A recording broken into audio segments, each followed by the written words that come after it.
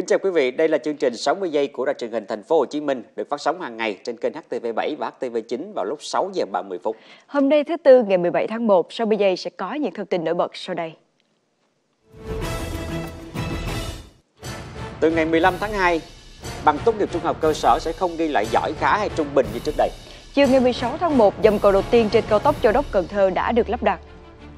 Công an thành phố Hồ Chí Minh bắt giữ các đối tượng cho vay nặng lãi và cưỡng đoạt tài sản. Máy bay chở 289 người va quẹt với một máy bay khác ở sân bay Hokkaido, Nhật Bản. Thưa quý vị, Bộ Giáo dục và Đào tạo vừa công bố quyết định mới về việc xét công nhận tốt nghiệp trung học cơ sở.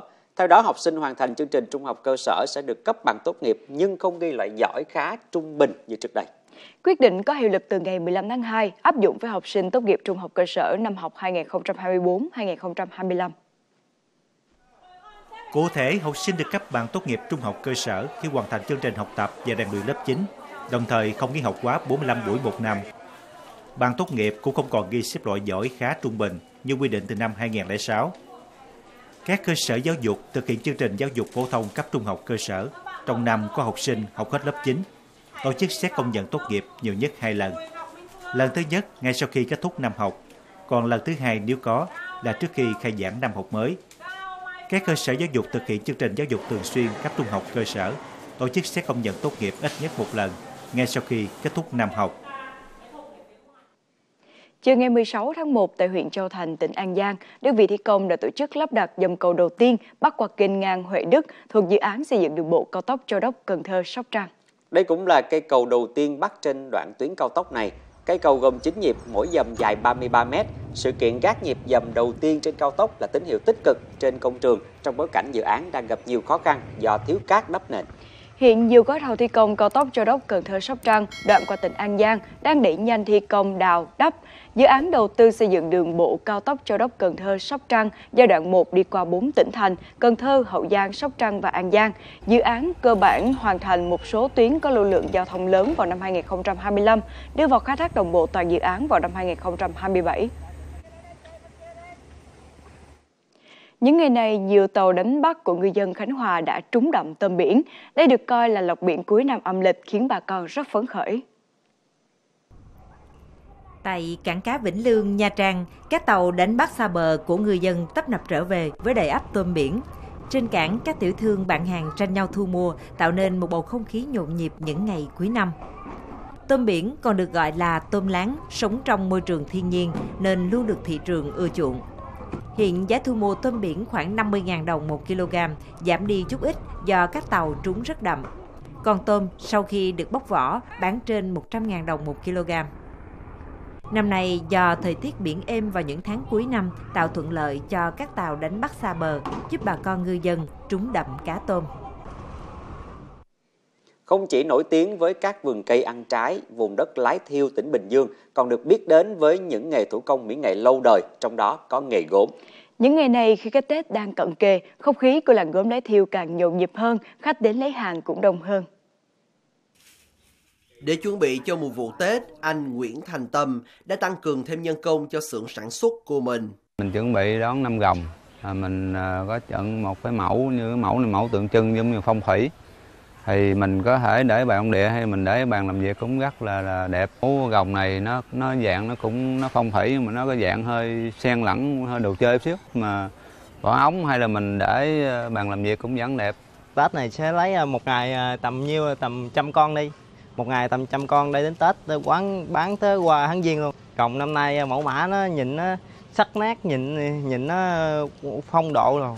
Ngoài các mặt hàng truyền thống như heo đất, rồng vàng, xưởng quan tâm còn sản xuất các mặt hàng trang trí khác mang ý nghĩa tài lộc. Năm nay, giá nguyên liệu tăng từ 10 tới 20% so với năm trước, nhưng các xưởng vẫn giữ giá bán cũ, vừa túi tiền của người tiêu dùng. Người làng nghề hy vọng từ đây đến cận Tết sẽ bán được nhiều hàng hơn nữa.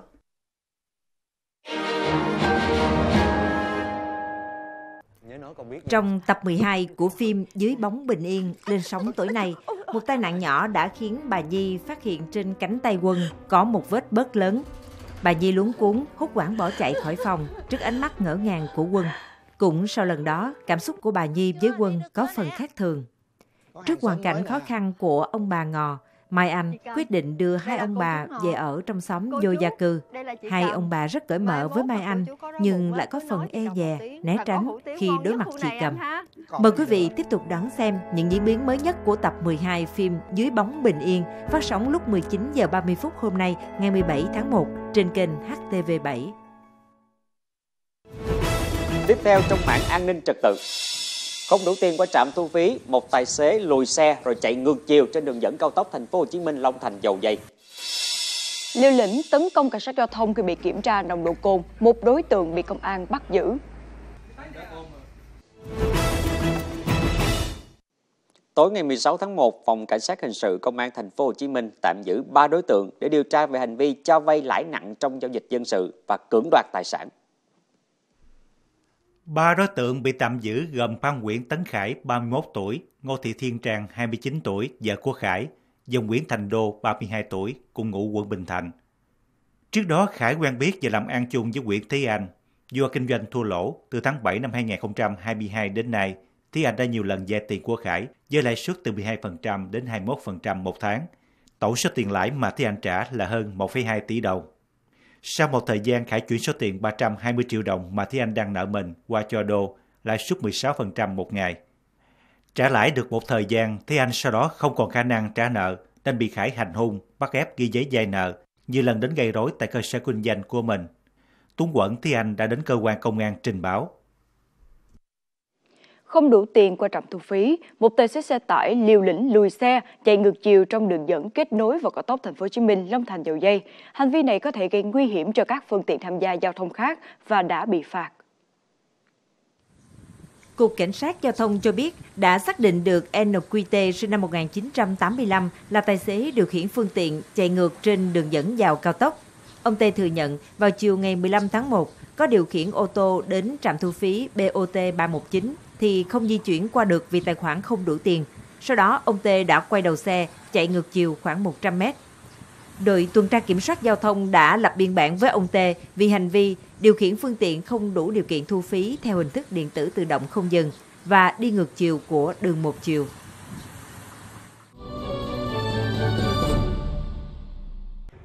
Trưa qua, một xe ô tô vận chuyển hàng lưu thông trên đường Lê Thị Trung ở thành phố Thuận An, tỉnh Bình Dương.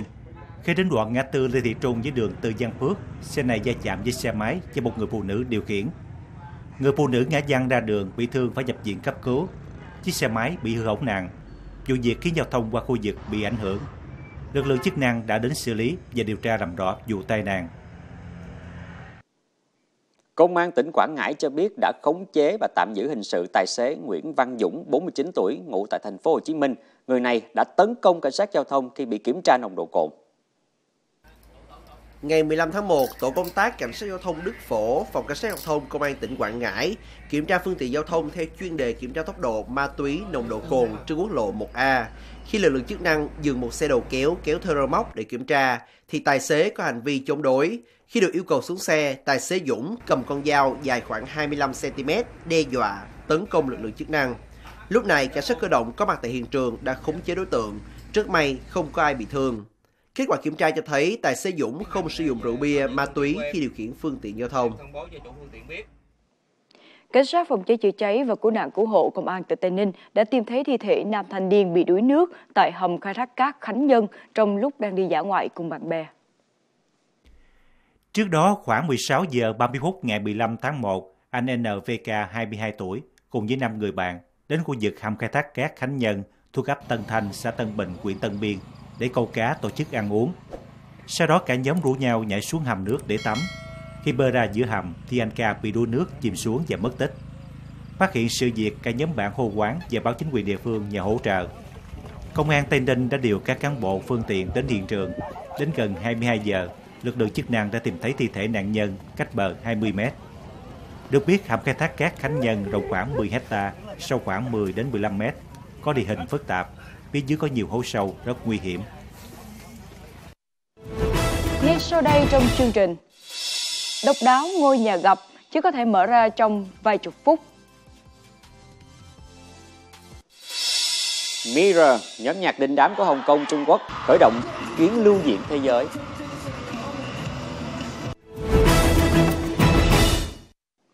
Thưa quý vị, ngày 16 tháng 1, một máy bay chở 289 người đã va quẹt với một máy bay khác ở sân bay đảo Hokkaido, Nhật Bản trong khi chuẩn bị cất cánh. May mắn là không ai bị thương trong vụ việc này. Vụ va quẹt xảy ra vào khoảng 17 giờ 30 phút theo giờ địa phương tại sân bay New Chitose. Chiếc xe vận chuyển đang đẩy máy bay của hãng Korean Air ra đường băng để cất cánh thì bị trượt do tuyết trên mặt đất, khiến cánh trái của máy bay này kẹp vào cánh phải của máy bay hãng Cathay Pacific. Máy bay của hãng Korean Air khi đó đang chở 289 hành khách và thành viên phi hành đoàn. Hãng hàng không này xác nhận không có ai bị thương trong vụ va chạm. Trong khi đó, hãng Cathay Pacific cho biết chiếc máy bay của họ không có hành khách và đang dừng trên đường băng. Vụ tai nạn khiến cả hai chiếc máy bay bị hư hại một phần. Thời tiết tại miền Bắc Nhật Bản đang không tốt, tuyết rơi dày ở một số khu vực và nhiệt độ dưới mức đóng băng. Tuyết rơi dày trong ngày 16 tháng 1 đã buộc ban quản lý sân bay Hokkaido phải hoãn và hủy hơn 40 chuyến bay. Một nghiên cứu tại Anh cho thấy việc không tiêm đủ liều vaccine COVID-19 hoặc không tiêm liều nhắc lại làm tăng số ca tử vong và nhập viện. Nghiên cứu được tiến hành đối với toàn bộ dân số nước Anh khoảng 67 triệu người và đăng tải trên tạp chí y khoa danh tiếng The Lancet. Hơn 90% dân số Anh trên 12 tuổi được tiêm ít nhất một liều vaccine COVID-19 tính đến tháng 1 năm 2022. Tuy nhiên, đến mùa hè cùng năm, có đến 44% dân số Anh không tiêm đủ số liều khuyến nghị hoặc liều nhắc lại, dẫn đến hơn 7.000 trường hợp nhập viện và tử vong trên tổng số 40.400 ca nặng từ tháng 6 đến tháng 9 năm 2022. Theo dữ liệu, các nhóm nam giới, người trẻ, người da màu và người có hoàn cảnh khó khăn có xu hướng không tiêm đủ liều vaccine. Ngoài ra, những người trên 75 tuổi không tiêm đủ liều có nguy cơ mắc COVID-19 nặng hơn gấp 2 lần so với những người cùng độ tuổi tiêm đủ liều và tiêm liều nhắc lại. Nhóm chuyên gia thực hiện cuộc nghiên cứu cho rằng việc cải thiện tỷ lệ bao phủ vaccine trong đại dịch COVID-19 đã có thể góp phần làm giảm số ca nhập viện và tử vong tại Anh. Liên quan đến xung đột giữa Hamas và Israel, với người dân Gaza trong thời chiến, chiếc điện thoại di động là một thứ vô cùng quý giá. Nó giúp kiểm tra tính mạng của người thân sau mỗi đợt tấn công của Israel, giúp chiếu sáng khi màn đêm buông xuống và đồng thời tìm kiếm sự hỗ trợ trong bối cảnh thực phẩm và nước uống khan hiếm. Vào những ngày nắng, nhiều người tập trung bên ngoài bệnh viện Emirati tại Rafah, miền nam Gaza để sạc điện thoại. Bệnh viện cho phép những người sơ tán sử dụng các ổ cắm được kết nối với các tấm pin năng lượng mặt trời hoặc máy phát điện trong trường hợp có nhiên liệu. Cuộc sống không có điện vô cùng khó khăn. Nhà tôi có một em bé 7 tháng tuổi, vì thế tôi phải dùng điện thoại để thắp sáng và liên lạc với người thân của tôi ở miền Bắc Gaza. Anh Sketa nói thêm, rất khó để sạc đầy pin, chỉ có thể đạt tới 50 đến 60%, chưa kể cáp sạc còn có thể bị hư. Bệnh viện Emirati cho phép sạc điện thoại miễn phí, trong khi một số nơi khác có lắp đặt tấm pin mặt trời sẽ tính tiền sạc. Tuy nhiên, ở thời điểm này, không phải ai cũng có đủ khả năng chi trả. Điện thoại và TV gập đang trở thành xu thế của thời đại, nhưng một công ty tại Mỹ còn sản xuất ra nhà có thể tự gập được. Căn nhà đặc biệt này có thể biến hình chỉ trong vài chục phút và cùng chủ nhân đi du lịch bất cứ nơi đâu. Chỉ cần nhấn nút, căn nhà với đầy đủ tính năng đã có thể thay đổi hình dạng. Sản phẩm đặc biệt này có tên Grande S1 do công ty chuyên về giải pháp nhà bền vững PODX Go sáng chế. Căn nhà này còn có thiết kế hướng đến thân thiện với môi trường. Chỉ trong 15 phút, Grande S1 sẽ chuyển từ cấu trúc chỉ rộng 2,56m thành 6,8m với diện tích sinh hoạt là 33,8m vuông. Ngôi nhà được xây dựng với kết cấu thép A36 bền vững và các tấm hợp chất siêu nhẹ polyurethane cách nhiệt mang lại sức bền, ổn định và thoải mái trong mọi điều kiện thời tiết. Grande S1 cũng được Tổ chức Quốc gia Nhà ở Thay thế chứng nhận, đồng nghĩa với việc nó đáp ứng được các tiêu chuẩn về an toàn, chất lượng dành cho những ngôi nhà nhỏ. Thưa quý vị, tối qua đội tuyển Thái Lan đối đầu với tuyển Kyrgyzstan ở bảng F Asian Cup 2023 tuyển Thái Lan bước vào Asian Cup với sự lo âu do đang có phong độ không cao, nhưng khi vào trận Thái Lan lại thể hiện rất tích cực. Phút 26, Phala từ cánh trái cắt vào sút xa và thủ môn Kyrgyzstan không bắt dính bóng, tạo thời cơ cho Subachai băng vào sút bồi mở tỷ số. Sau bàn thua, Kyrgyzstan đẩy cao đội hình tấn công để tìm kiếm bàn gỡ. Tuy nhiên, họ tỏ ra bế tắc trước hàng phòng ngự chơi kín kẽ của Thái Lan. Sang hiệp 2, Subachai một lần nữa lập công Phút 48, cú đánh đầu của Subachok chạm trung vệ Kyrgyzstan đổi hướng bật ra đến chỗ Subachai. Cầu thủ này dứt điểm gọn gàng nhân đôi cách biệt cho Thái Lan. Trong phần còn lại của trận đấu, tuyển Thái Lan thi đấu đầy chắc chắn và bảo toàn chiến thắng 2-0 giành 3 điểm trọn vẹn trong ngày ra quân Asian Cup 2023. Ở trận còn lại của bảng F Asian Cup diễn ra vào rạng sáng nay, Ả Rập Xê Út gặp Oman. Mặc dù bị đánh giá thấp hơn, nhưng tuyển Oman lại nhập cuộc tự tin và chơi sòng phẳng với Ả Rập Xê Út. Phút thứ 10, Oman được hưởng phạt đền sau một tình huống phạm lỗi. Trên chấm 11 m Al Yahiyai không mắc sai lầm để mở tỷ số trận đấu.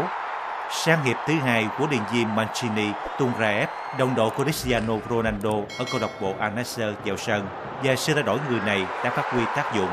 Phút 78, Raef dứt điểm tung lưới đối phương, gỡ hòa cho Ả Rập Xê Út. Trận đấu diễn ra căng thẳng đến những phút bù giờ cuối cùng. Al Goleahi là người ghi bàn.